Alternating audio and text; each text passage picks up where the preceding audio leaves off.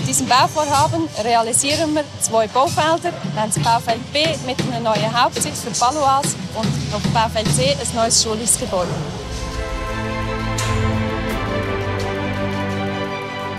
Im Moment befinden wir uns von der Arbeitsschritt her in beiden Baufeldern im Rohbau, also Wand- und Deckverschalungen, damit die Gebäude Form annehmen.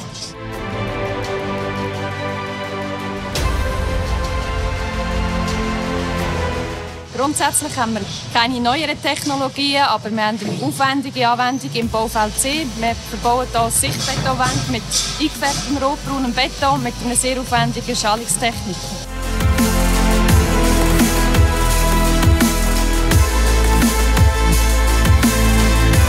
Die zentrale Herausforderung an diesem Baufeld sind die Lage in der Stadt Basel. Wir befinden uns im Zentrum, haben hier sehr hohe logistische Anforderungen Schnittstellenkoordination und auch enge Termine.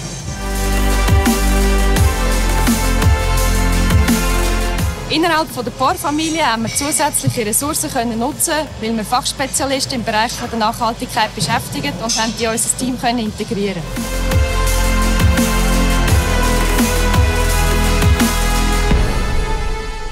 Für mich persönlich sind die Erfahrungen hier sehr interessant.